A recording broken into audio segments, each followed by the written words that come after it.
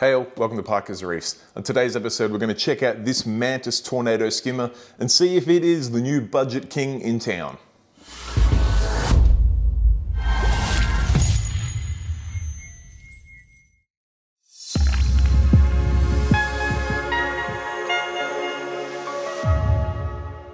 All right, thank you for joining me on another episode of Parker's Reefs where we're going to check out this brand new budget priced skimmer in town. I will point out that Mantis did provide this skimmer for the purpose of this review, but you can rest assured that you will get my truthful and honest opinion, warts and all of this skimmer.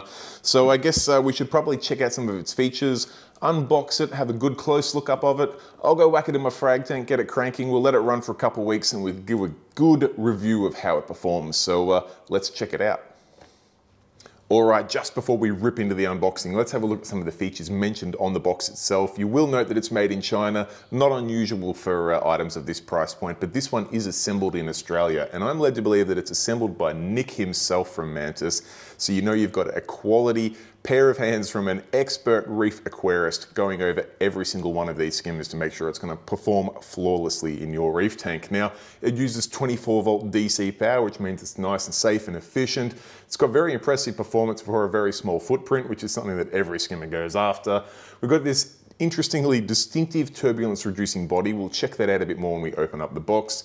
It's got solid PVC and acrylic construction. I am liking this sort of theme at the moment to go for PVC and acrylic. Seems to make a very strong and high quality finish. We've got a bubble dispersant chamber that's fairly uh, standard. Efficient, quiet operation will be the judge of that. Dissembles completely for easy cleaning and maintenance. We'll also check that out efficient, quiet, controllable tornado skimmer pump. Now, I have tested one of the Mantis tornado pumps before about a year to a year and a half, maybe two years ago, and I was highly impressed for its performance against price points. So I expect nothing less than a high quality Mantis pump. And uh, last but not least, in sump installation only, which um, I mean, that goes without saying really, but uh, we also get a bio-load handling, making sure that this is the 150. There is other sizes available. I'll show them on screen now, going from, I think, a 120, 150, 180, and a 200. This one gives you a rough idea of the bio-load handling. It's something that's always a bit subjective, but uh, I like to look at the heavy end and go, well, this skim is good for 500 liters. So uh, let's rip the box open and get stuck into it. All right, enough pondering over the box. The suspense is killing me because I have yet to see one of these guys in person. So uh, let's get out the old trusty Leatherman. Let's unbox this bad boy live and uh, see what it is like. Just making sure I don't uh, cut any of the uh, internals. All right, I'll put that knife away before I hurt myself. All right, what do we got here? Whoa, this is a big box. Okay, so we get some instructions. We get a Mantis controller. We get the little silencer with an adjustable screw, nice, nice. We get some uh, silicon hose for the drain, it looks. Australian plug. And a tiny little power supply. Wow, this guy is small. Let's have a look at the voltage of this bad boy. 24 volts at 2 amps. That's a baby little power supply. That's uh, quite neat. Uh, what else have we got in here? Looks like some mounting hardware for the controller. Oop, there's the zip tie. So we get uh, some 3M double-sided tape. We get some of these uh, little cable management uh, devices that you have 3M tape on the back. You can then use zip ties to keep the cords and things out of the way. Nice touch, I like that. I'm gonna put these aside there. All right, what else have we got in here? A well packaged cup. Must admit, I'm liking the uh, the black and white color scheme, not just because I barrack for uh, the Collingwood Magpies in AFL, but uh, just because it's it's going to suit everyone's color scheme, whether you've gone for red and white or you've gone something crazy with oranges or whatever. Black and white's a safe choice. Things like um, some other skimmers out there that might be like bright orange or bright purple or something like that might not suit your color scheme. I know it's uh, aesthetics, but um, you know, we try to create an aesthetically pleasing reef tank, so we want to have aesthetically pleasing equipment. And um, I like the idea of the black and white uh, combo there. It's got a nice little uh, silicon O-ring on that lid, so that's going to push down in there. And we'll see how she goes. All right, the main event. Get that box out of the way. Creating a huge mess in my kitchen, but I'll deal with that later. Here he is with the little uh, Mantis pump pre-installed. Wow, those feet are nice and soft. Let me have a look at those. Wow, there's some really nice, big, soft, vibration absorbing feet. Now I can see what they mean by this hexagonal body. It, uh, it really is hexagonal. and it's got a, a good uh, bubble dispersant plate there, that tiny little mantis pump in there. What a ripper. I quite like the, uh, the nice solid and sturdy gate adjustment there. That must open something on the bottom. It does. So that lets uh, the bubbles, or the water out I should say, from the bottom, which should help keep the uh, micro bubbles to a minimum. Let's uh, assemble this guy up and um, get ready to install it on the tank. I should point out that the uh, skimmer cup does come with a little plug if you just want to keep the uh, skimmer in there or it also comes, if I can get the plug back in there, also comes with a hose option if you want to have that ability to uh, point it outside your sump and empty it out. I might keep that one separate for now. All right, assembly done, as easy as that. Now that I've assembled it, maybe we'll dismantle this skimmer just to see how much it is dismantleable so that you can give it a good thorough cleaning just before I whack it in the tank and get it all wet.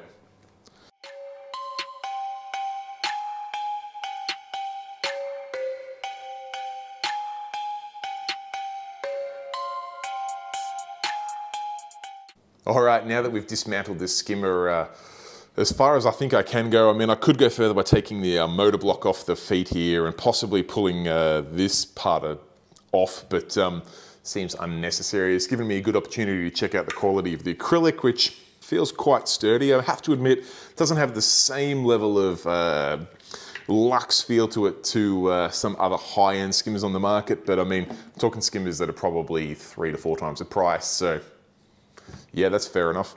Um, the little skimmer motor in here is tiny. What a little gem that is. And uh, I've taken the impeller out and um, the little bearing option here. All looks very nice. Nice little needle wheel skimmer. Feels like a solid bit of gear. Uh, the diffuser plate or the bubble plate, which um, is a fairly standard style in my opinion. Um, just a basic acrylic piece there. That, that looks like that'll do the job nicely. I really love these uh, silicon feet which the uh, body bolts through. The only thing that I'd possibly say is, I don't know, I feel like there's something you could possibly lose when pulling the skimmer apart. Um, just don't be clumsy like me, you won't lose them.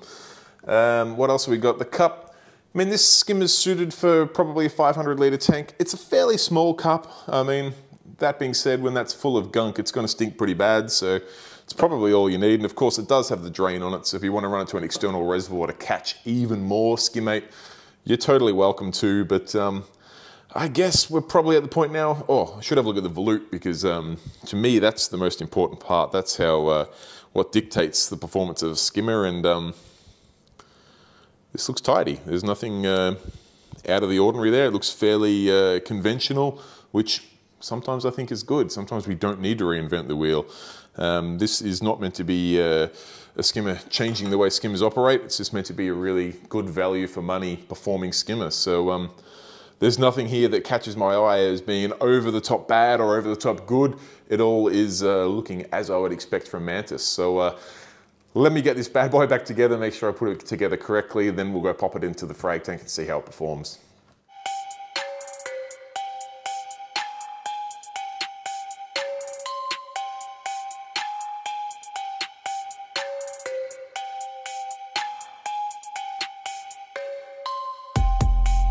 All right, after a couple of false starts, I've got this skimmer back together. My uh, inexperience in handling the uh, Mantis skimmer caught me out in a couple of different spots. I'll go over those details in the uh, summary. What I want to do now is get this into my frag tank so we can fire it up, get it pumping some air and water through it. We can then let it run for a couple of weeks and see how it performs over that time in my Cade frag tank. Let's go do it. All right, let's fire this bad boy up and uh, see what it does. Plug in the controller now. It is set to its slower speed with the gate wide open. And as expected, it uh, sits a little low. In fact, it's starting to climb fairly quickly. Let me just see what I can uh, do with this controller. Mode is off, mode is on, and we've got up to five steps.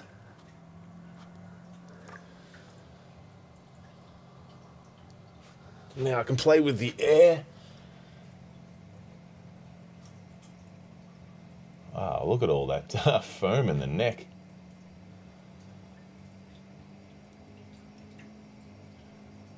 Okay, she's ramping up. I might turn it down a step or two. That's down to step three.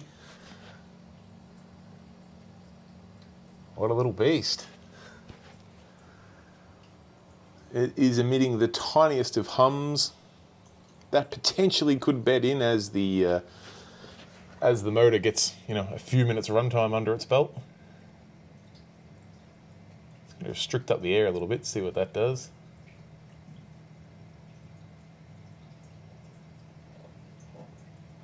Quite impressed by the uh, amount of fine bubbles in the uh, neck of it there.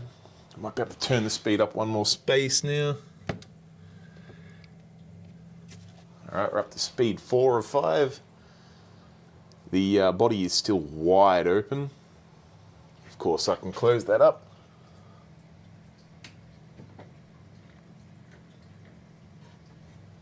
And uh, as you would expect, it makes it fill up really quickly. That's what happens when you go from fully open to fully closed. We'll dial that back. I might leave it uh, sitting deliberately a bit low just while it beds in and uh, we'll see how she runs over the next um, next week or two. Beautiful. I'll leave it run at that. I'll check back in with you in the next uh, couple days and then in the next week and uh, we'll wrap this video up. Alright, I've had the Mantis Tornado 150 running in this frag tank now for three days and I'm quite impressed by the skimmate it's pulled out. Just to set the scene for you, this tank has basically no bio load whatsoever. It has no fish, about five kilos of live rock, very little corals, and it did have a oversized, high quality skimmer running in here prior to this going in. So um, the fact that it's been able to pull out anything at all is a huge accomplishment. And um, whilst the skimmate's a little bit wet, it's probably just been set a little bit uh, high, the water level. The water level itself and the bubbles remain very consistent, which I quite like. What I want to do now is uh, empty out this cup and uh, basically reset the skimmer. And then I'm going to feed this tank fairly heavy over the next week to week and a half and um, stir up a bit of detritus in there and just push this tornado, Mantis Tornado skimmer to see how far it can go and what kind of skimmate we can get out of it. I might lower the water height in there a little bit just so we can pull out some real nice dry skimmate and um, we'll see how we go. So uh, I'm going to empty it now and uh, then we'll touch base again in a week and a half. Okay, now it has only been one day since I uh, disrupted all the detritus in this frag tank and uh, gave the rocks a good turkey baste. And I did say that I wanted to give it a week to a week and a half, but in that time, Victoria has joined New South Wales and Queensland in a lockdown.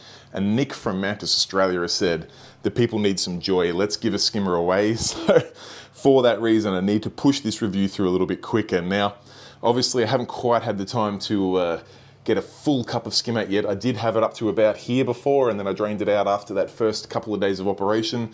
And uh, in the next day, I've pulled out this much here of uh, a fairly uh, tea-like substance, not that dry skimmate yet, but that's because I have been running, you can see the bubble height there, quite high in the skimmer just to get it pulling out as much as possible.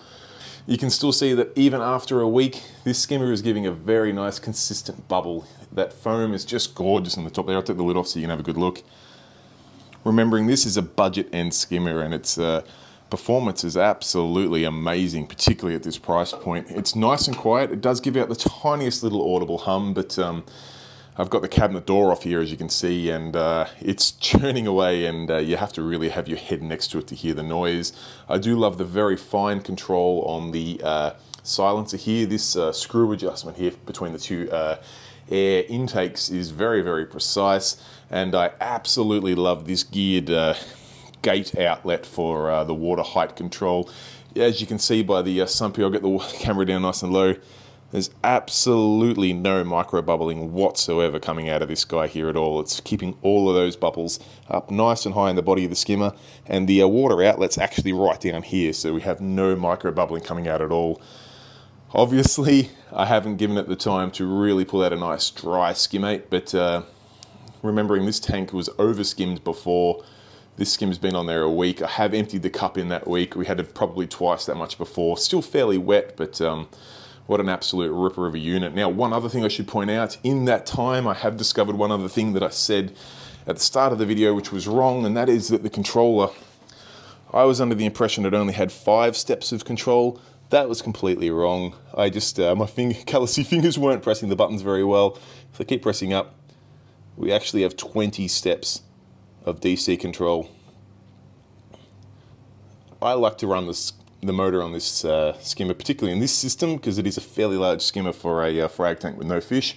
That's step five, but you actually have 20 steps of operation. You'll see the, uh, bubble height's a little bit higher after ramping that up, but um, it'll come back down again very, very soon. And you can see that nice fine bubbling through the uh, body. Absolutely beautiful.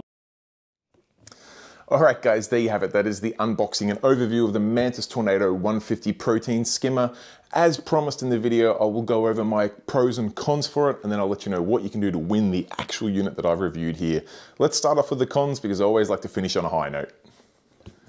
All right, in the cons list, thankfully I can say it's quite small, but there are three things I wanted to touch on if I want to give you my complete, honest, transparent, warts and all review. So the first con, in my opinion, is just probably a lack of awareness of the unit, but when I assembled it after disassembly, I had a little bit of trouble. In fact, it took me three goes. When I put the volute onto the uh, motor housing, the front of the motor housing actually just twists onto the motor body. And when I put the volute on, I was twisting it and that would untwist the motor housing, requiring me to disassemble the skimmer again, put the motor housing back on and try again. Once I realized that you don't need to twist the volute when putting it in, you just push it straight in. It was no longer an issue, but it did cause me a little bit of uh, grief at the start of this review, so I figured I'd have to be completely transparent and share that as a con here. All right, the next con that I'll point out, and it's, I honestly felt a bit of a prick for saying it because it is such a very well afford or very well priced skimmer, but the motor did put out the tiniest little hum. That does surprise me considering how soft and squishy those sound absorbing feet were, but I do have to say that when you have your ear right next to it and you turn that motor up, it put out the tiniest hum. Not that you're gonna hear it when the cabinet doors are closed or anything like that, but it's definitely not silent. It is absolutely very quiet though. All right, finally, last up on my list of cons was the build quality. Whilst it absolutely does everything fine, there was nothing broken, no leaking parts, nothing like that. There was an absolute point of difference in the build quality between this and some very expensive options on the market, which you would expect, but um, I feel like I need to point it out that uh, just some of the glue seams and things like that are not up on par with something that's going to cost you two or three thousand dollars. Nor should it when we're talking a five hundred dollar skimmer. But if I'm gonna be absolutely transparent, I'll show you some of the glue seams and things like that so you can see what you're up for, but um, it's really a non-event, but I gotta share with you all of the cons. All right, the first pro in my list and probably the most important pro is the price of this unit. The Mantis Tornado skimmer range varies from $450 Australian up to $880 Australian. The unit I reviewed came in at mid $500 Australian pricing, which there's just nothing else on the price point that can go remotely toe to toe with this skimmer. So uh, value wise, this thing's an absolute beast. All right, the next pro, and again, probably one of the most important ones, is the performance of this skimmer. I'm not sure if it was the octagonal body or hexagonal, whatever it was, the non-round shape of the body or whatever it was, but uh, putting this skimmer into my frag tank for a one week after it's been absolutely over-skimmed for a few months with no bioload in the system whatsoever, and it still managed to pull out some incredibly stinky skimmate. What more could one ask for? What an absolutely high performing unit. I would love to give this a solid six months to give you a really good review in a system that has lots of fish, but uh, I just want to give this skimmer away and uh, Nick's given me the all clear. So um, hopefully whoever wins it can give us their feedback in six months time to let us know if it's still working as well as it did for me during this week. All right, the next pro is the adjustability. Now there's probably three sub pros in this. First of all, it is a DC controllable skimmer and it has 20 steps of adjustment in the motor. That's absolutely unparalleled in um, definitely anything in this price point, but even against some of the most expensive skimmers on the market, 20 different speeds for the motor is just um, unbelievable. You're gonna be able to dial that in to suit any requirements, any system out there, and that's incredible. Add to that the fact that you've got that really nice and sturdy and very fine adjustment on that gate valve, which makes sure no micro bubbles whatsoever are coming out of the body.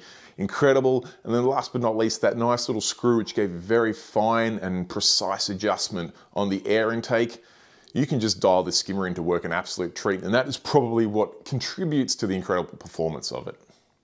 All right, and the last pro, last but not least, is the size of the unit. I have no doubt whatsoever that the skimmer I tested, the 150, would be more than comfortable in a 500 litre tank with a decent bio load. Now, I will put the dimensions of the skimmer up on screen here because I don't have them on the top of my head, but it is tiny. I'll get the measuring tape out and check it for you.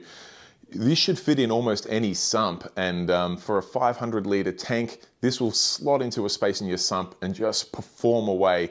If you've got a sump like the Cade, it's gonna leave lots of room for other items which you may need down the track. It's just great to be able to have something performing that well without taking up all of your available space. So the small footprint is an absolute pro in my book.